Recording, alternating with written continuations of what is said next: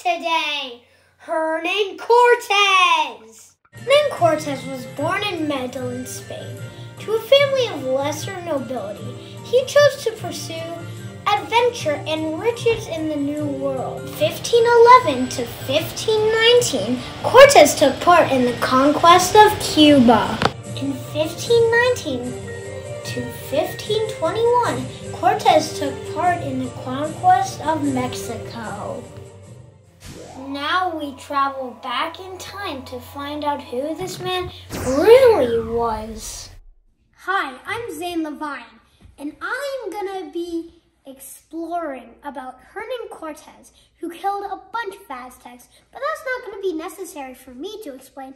Let him answer my questions. Hernan Cortez, get ready.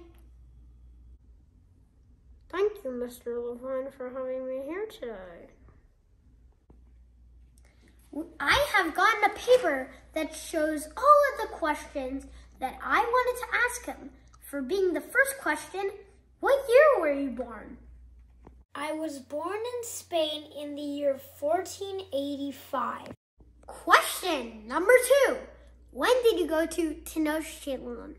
TBH. If I had to go there and the words there were that long as the name, I would probably not survive a second. I wonder what Mississippi would be. I came to Tenochtitlan to conquer and claim land for Spain and to get gold. Question number three. Did you go anywhere other than Tenochtitlan? I went to Cuba before I came to Tenochtitlan. Question number four. When did you get to present-day Veracruz in Mexico? More long words, more harder to pronounce. I landed in Veracruz in the year 1519. Question number five. What tool did you use to tell the direction? That indeed is a very good question with a very short answer. A compass. Question number six. What type of person were you? And does that rule make you have to kill? Wow, how gruesome. So sad, but still answer it. Please, this is talk show, not cry show. I was a person called a conquistador who would try to get gold, glory, and people to believe in Catholic.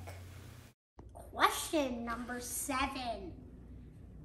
What tool did you use to set out the perpendicular direction for offsets? Another short answer and another tool. Exactly just like the compass, but this time it's a cross staff. Question number eight. What god did the other conquistadors believe in? The same thing as me, Catholic, which is a type of Christian. But I'm Jewish! Question number nine. Who were your parents? Who were your parents? Martin Cortez de Monteroy and Dona Catalina Pizarro Ultramarino. They were both my parents. I thought were your parents. These are strange questions. Are you being hired to do this? No, sir, no. Question number 10. What were the dangers you faced? My army and I had to overcome numerous challenges to conquer the Aztec Empire, namely getting around the language barrier between the Spanish and the natives, gaining allies in Mexico, holding off other Spanish forces, and finally conquering the impressive capital city of the Aztecs. Question number 11. Who sponsored your trip? The people who sponsored my trip were Spain and its government. Question number 12. How did you overpower the Aztecs? This is the last question and the most gruesome. We had immunity to smallpox when we came to Tenochtitlan. So many died. And then when we came back, they wanted me to be their king. But then they grew tired of me and wanted a new king. But then I murdered a lot of them. Well, that was gruesome. Thank you for all the information, though. I must go back to the future!